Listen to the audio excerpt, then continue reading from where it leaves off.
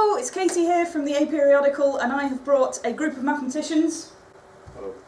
Today we're going to attempt to calculate the value of pi using various stupid methods. So we're going to approximate pi, we're not allowed to use a calculator uh, and we're, we're going to try and measure things and weigh things and time things uh, and use this to try and calculate increasingly accurate values for pi. We have got pi hours uh, and in the spirit of Pi Day, we've not actually used pi hours, we're actually using 3 hours, 14 minutes and 15 seconds, which isn't quite pi hours. So to satisfy those of you who would like us to actually measure time using pi, we've got an equivalent pi clock down at the bottom. So every pi seconds this will increment down, they will both reach zero at the same time, at which point we will stop and we'll decide who has got the best approximation to pi out of all of us. Uh, so should we, should we go? Should we Yeah. start? Let's go. We're ready? Here we go. Pi three, two, Two, one, one. go! Let's calculate pi. So Sam, how are you going to calculate pi? Uh, I'm going to draw polygons with more and more sides and compare their diameters to their perimeters. And the more sides I've got, the closer it will get to pi. I'm going to use this piece of string and this pen to draw a large circle where all of my other shapes will be inside. Start with a square and then get more and more.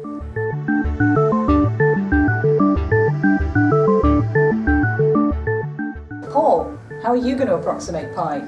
Well, I'm going to make a big pendulum and we're going to set the pendulum swinging and time how long it takes for the pendulum to come one complete swing and um, from that length of time we're going to derive a value for pi. So formula for uh, time that it takes to complete one swing is twice pi times the square root of the length of the string divided by the acceleration due to gravity. Or what I thought we might do to save on having to work out any square roots, if we make the length in meters of the string one quarter the acceleration due to gravity in meters per second per second. So we will make L equal to G divided by 4. Yep. And then the g's will cancel. This square root of one quarter, which is a half, will cancel with this two. And we'll just be left with, the, in theory, the pendulum should take exactly pi seconds to complete one swing.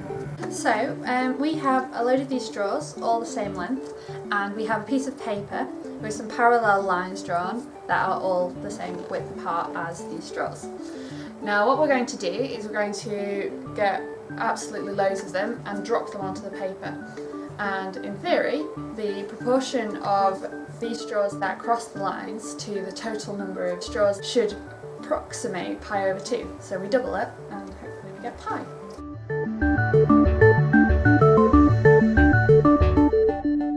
What are we doing here? We are doing the uh, secondary school math teacher's favourite of drawing uh, circles, measuring the diameter, measuring the circumference. Once we've got the circumference of a circle and we've got the diameter, we can do the circumference divided by the diameter and they should give us a good approximation of pi. We're going to do this with a variety of sizes of circles, so starting from the queen on the coin with a pin jabbed into her face as a little trundle wheel the slightly larger cardboard sizes and then our daredevil conclusion we're going to try and see if we can get a decent approximation of pi from a, uh, a cartwheel.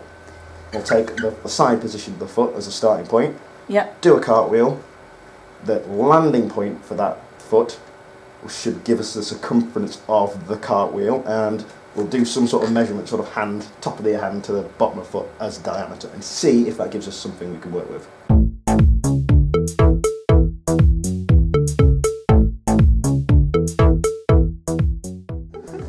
Andrew, how are you approximating pi? Well, I've been given a set of balloons to approximate pi with. Um, the idea being that if you blow them up a bit, it's basically a sphere. And the volume of a sphere is 4 thirds pi r cubed.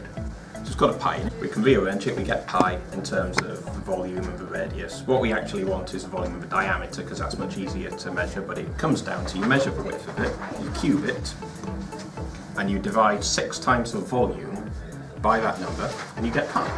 Okay. That sounds a lot simpler than it's actually turning out to be, because the problem is that if I tip this into a jug, you can't really see what the volume is. Okay. So we've been filling them with water. The problem now is that using the tap, that's what you get. Right. That has a diameter of about four centimetres when you squidge it into a sphere, yep. which is not a lot. So Right. I've got 10 balloons Right. in here, Yep. and, and this has a volume of about 350 millilitres ish. For a volume of 350 millilitres, I've worked out an approximation of pi. I've said it's 35 millilitres per balloon. So 6 35s over 4 cubed works out to be 105 over 32, which I worked out 3.28125 for my first run of balloons. So what we've got here is a formula that Euler came up with. He worked out that if you multiply it on the top of each fraction successive prime numbers, and in the denominator you want um, the nearest multiple of 4 to that number, so it could be one larger or one smaller. And if you multiply them all together, going through all the prime numbers, you should get pi over 4. Okay, that seems simple enough. So you, it starts off nicely because the first term is 3 over 4. It's going to give us pi over 4, so we multiply the whole thing by 4. First approximation is 3. That bodes well. That that I- does I bode thought. well, yeah. So what are you doing, Ash? I'm doing the spigot algorithm for pi using this formula here. What I have to do is sub in the values for k and that should give me the each digit of pi. So far I've only got three. Right. Yes. That's a good start. Um, yeah. So I, I think it's working. Oh, here we go, here we go. Two hours left, everyone. Two hours of pi calculating remaining.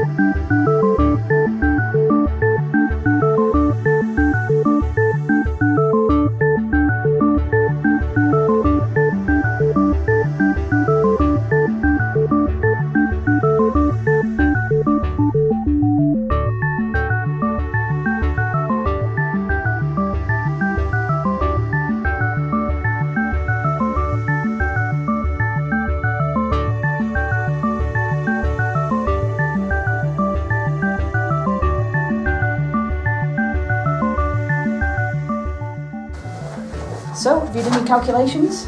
Yeah, we've got a value for g, the acceleration due to gravity, that's 9.80665 metres per second per second. Uh, we've done some good old fashioned division by 4 to get the length in metres that we want for our string, which is just a little bit over 2.45 metres.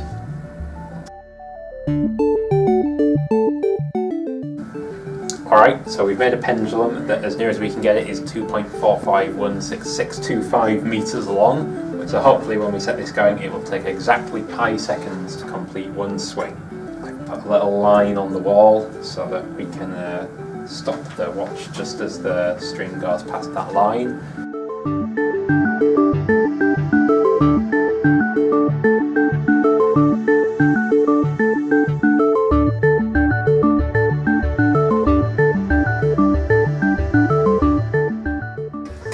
Okay, so how are we doing? Um, bad. So you can see we got to about 3.258 at one point, and then it seems to have headed off away from pi. So I switched to a different numerical method. Um, this is another infinite product, where now the numerators are 4n squared and the denominator 4n squared minus 1, and that's going to give us pi, pi over 2 at the end. Unfortunately, this one is a lot less efficient than the last one. So you can see I've started off with 2.6 recurring, you know, we're heading towards pi, 2.9, that's not too bad. Then we've just way overshot and we're down at 4.02 here. Um, the next fraction is going to have about 10 digits on the top and 9 or 10 on the bottom, so I might be switching back to the other algorithm in a minute.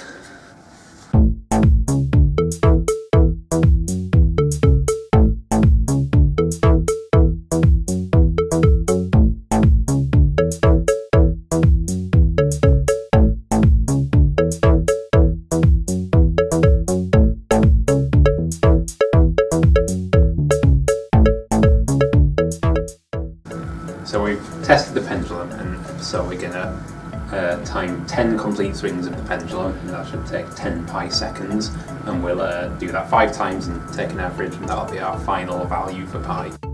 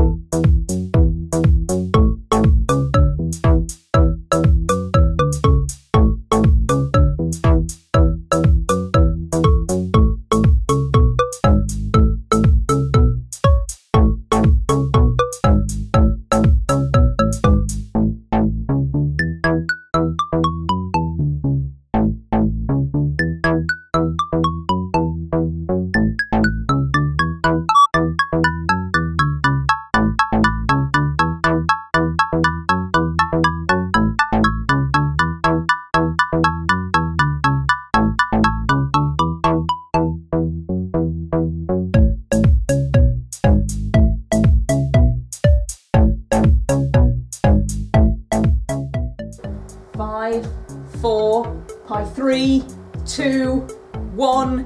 Okay, that's it. Stop calculating pi, everyone. Okay, so what's your final value for pi?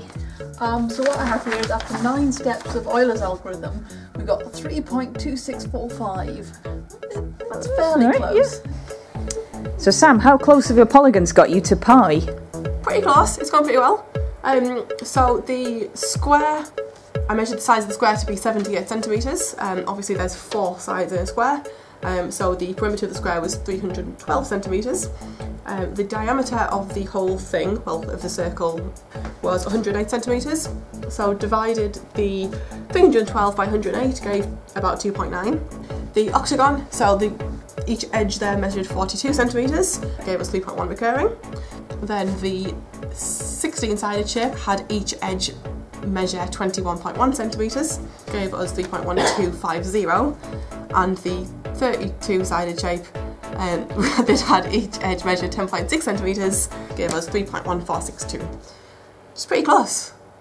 Okay, so what's your final value or values for pi? Well, so the initial one I did with 10 small balloons gave me 3.28 and change. This large balloon, when it was fully inflated, gave me uh, 3.215 and change, which is still a bit high. Um, and I then tried with, I found two kind of roughly hemispherical balls, which I filled completely to the brim with water. And they gave me a value of 2.909 recurring-ish. Okay, so Paul, what's your final value for pi? Well, a source of error that we hadn't reckoned with was the cheapness of the stopwatch we were using. So as you can see, it only gave us two different times across the five trials, but we've averaged them anyway and got an average of 31.3308 seconds for 10 swings, giving our value of pi as 3.13308. Okay, and how has the Spigot algorithm fared? Uh, uh, all right in actually the answer it's given, but I only managed to get through two terms of it. I think after six pages of work, I managed to get a decent representation of pi. So Sam, what's your final value from dropping sticks? So, after many, many trials and picking up quite a few little straws and dropping quite a few, 3.1413. So that means that the winning value of pi, the closest approximation to the actual value, was this, achieved by Buffon's needle. So congratulations, Sam. Thank you to everyone who took part in the pi approximation challenge, and if you would like to have a go at approximating a value for pi, send us a video, we'd love to see it.